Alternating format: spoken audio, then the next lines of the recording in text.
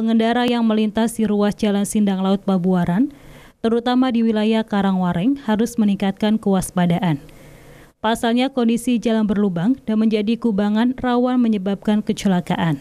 Kerusakan jalan yang sudah terjadi sejak beberapa tahun terakhir ini semakin parah karena belum ada upaya penanganan secara maksimal.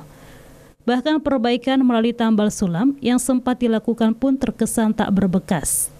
Masyarakat mengeluhkan kondisi jalan rusak yang rawan menyebabkan kecelakaan, terlebih hampir seluruh bagian jalan berlubang dan tergenang air.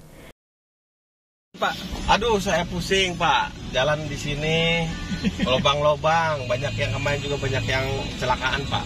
Udah lama Pak ini Pak jalan rusak Pak? Sudah lama Pak. Itu.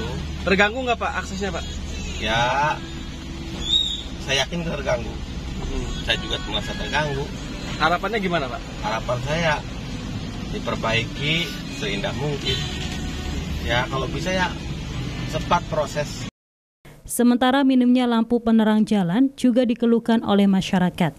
Karena saat malam hari rentan terjadinya kecelakaan akibat pengendara yang menabrak lubang. Pemerintah daerah didesak segera merealisasikan perbaikan jalan agar kondisi jalan lebih mulus dan tidak membahayakan keselamatan pengendara. Muhammad Solihin, RCTV, Cirebon.